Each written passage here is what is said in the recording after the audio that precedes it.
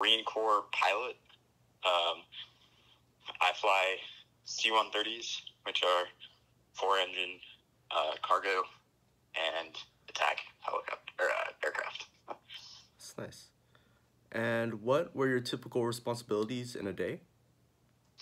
So, as a pilot in the Marine Corps, we not only fly the aircraft, but we also have what's called a ground job. Mm-hmm. So, my office job is the squadron intelligence officer. So, I have Marines that work for me that conduct uh, analysis on things that could threat to our aircraft and to the country. Nice.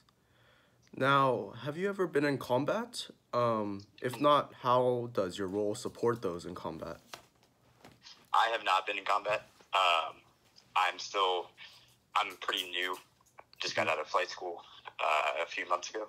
So my role right now, though, is uh, facilitating and helping with training back here, and uh, doing a lot of logistics support uh, for the rest of the Marine Corps as well. I see. Now, um, from your experience in the military so far, what have you exactly learned? I've learned a lot about not only myself, people around me. It's been very humbling to learn the what you can do with a little bit of determination and willingness to persevere. But I've also learned a lot about leadership, working with Mhm. other people. Uh, the military really brings a lot of people from a lot of different backgrounds and people that you wouldn't meet otherwise. And I've really just appreciated the opportunity to be able to That's great. spend a lot of time with some really great people. Now, this isn't one of the questions, but how do you think some of those um, attributes will ap- apply to the day when you g- go battle? So, uh, for our aircraft and for the community that I work in within the Marine Corps, we're very dependent on trusting each other. So, our Mhm. aircraft flies with two pilots in the front. We have what's called a flight engineer who's helping out with aircraft systems sitting right behind us. And then we have at least two, if not more, uh, we call them load masters, who are in the back of the aircraft helping with cargo, personnel, or whatever we're carrying at the time. And we have to be able to rely on each other, and we have to be able to trust that we all know how to do our jobs, and that in moments where maybe we're in a threat environment or we are just having some sort of emergency, maybe an engine catches on fire or anything that could happen while we're in there, that as a pilot up in the front, being able to have the initiative and decisiveness to be able to make decisions and lead the crew through solving any of these problems that might come up. Definitely, yeah. I think We train towards all of those things. yeah, I think trust is definitely a huge part of Definitely. military. Now, in your mind, what justifies going to war? So that's a uh, pretty profound question, um, hmm and hard to answer it in in just a couple of sentences. But it would obviously have to be a a dire risk to national security. Uh, but I would preface that the all of the other avenues should be exhausted. We should have tried diplomacy. We should have tried sanctions. We should try simply working together as an international community before going to war. However, that doesn't mean that war is never an option. Uh, and in the eventual case that we have to go to war, um, the military is obviously very ready to conduct whatever we need to do. Definitely. Um, now let's see. Do you think our country has effective policies when it comes to war? um, I think that we are effective at carrying out combat. I'm to Yeah. leave it at that. yes. Um, now, I really appreciate appreciate what you did for our country and for my liberty. Um, even though you haven't gone into combat yet, I still appreciate your bravery and trying to protect our rights. after serving in the military, do you have a greater appreciation for liberty? Uh, I do. I think just it's a the people that you meet that have truly gone out there and done some very incredible things. Um, we do. We all should give them our respect and gratitude. Um, and seeing what other countries do have to deal with um, outside of the Western civilization can also be very, very humbling um, and make you grateful for what we have here. Yeah, definitely. America has, um, well, a moderately better amount of resources compared to other countries. Yeah. Yeah. There's, yeah. All right. Um, I personally don't agree with this question, but would you tell me one of your favorite stories from your military experience? If you don't want to, um, you do not need to answer. But uh, just a.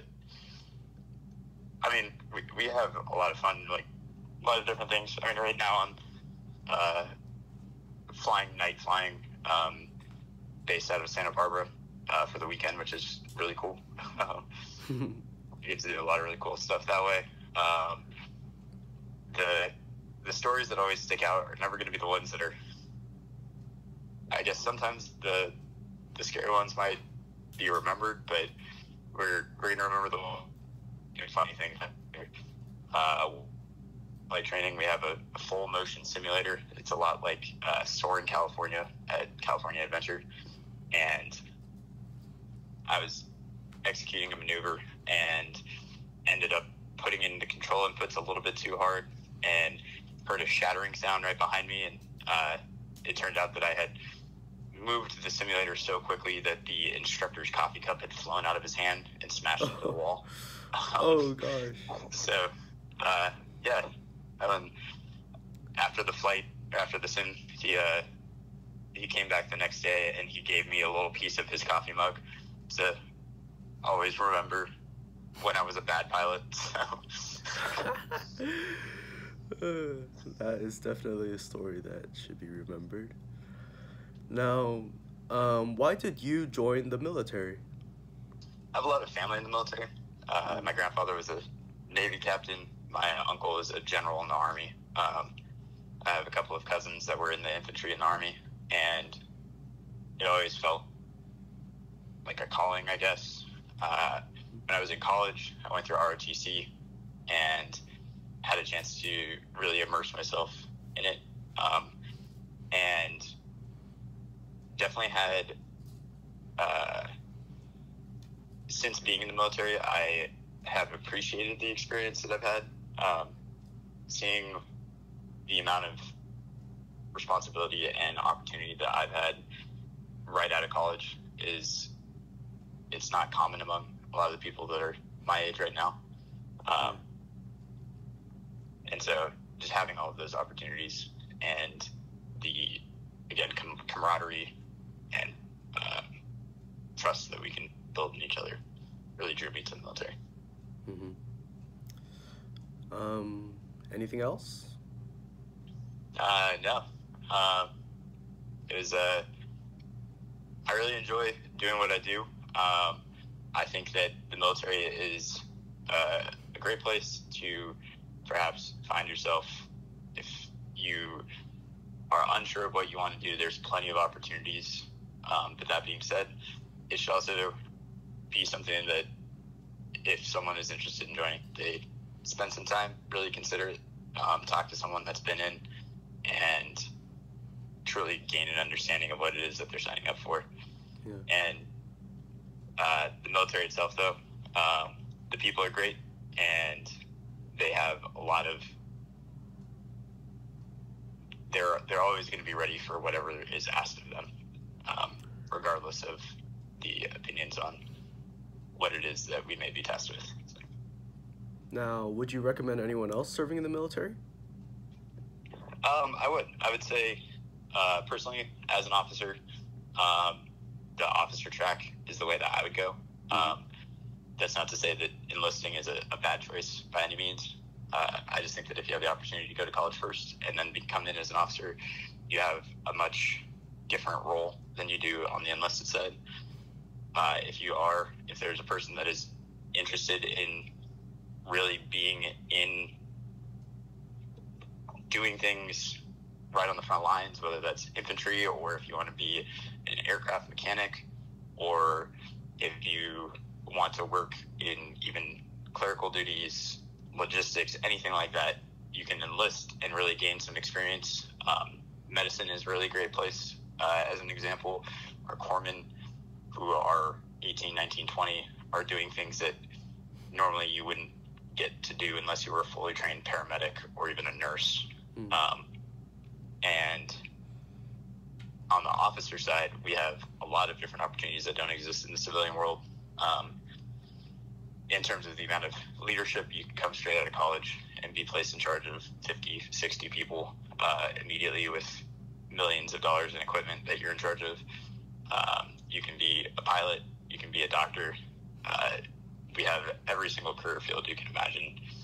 Uh, again, I just preface that with talk to someone that has been in the military before and really consider uh, what are what's driving someone to join the military, and especially looking between the branches because the branches do have significant differences. Um, I always tell people that if you're interested in joining the military, really consider the Air Force or the Navy. If you really want to join the Marine Corps, you should probably get your head checked. But if you're still concerned, still want to do it, then then maybe uh, you got it. You know, you really want to be here. So. All right. Well, thank you. It's people like you that really protect us, and I am grateful for your bravery. Um, all right. Well, that's about sums it up. Thank you for your time. Yeah. Um, so, just before you go, what is the uh, what is the project that you're doing? The project that I am doing is we were supposed to interview a military officer, and then we would basically look at these questions and then form our own opinion about whether we should join the military, um, would what it w- the project was basically supposed to give us some insight um, on the military. We were supposed to see how the military affected some um, some of our rights. Um, I think that's about it. The other option was interviewing a local politician, which seemed pretty impossible to me. so um, I decided to interview a military member. Thankfully, you were there to accept my yeah. interview. Um, yeah. But happy to help. Um, and best of luck on the project. Thank you so much. Cool. All right. Good talking to you. You too. Bye-bye. bye, bye.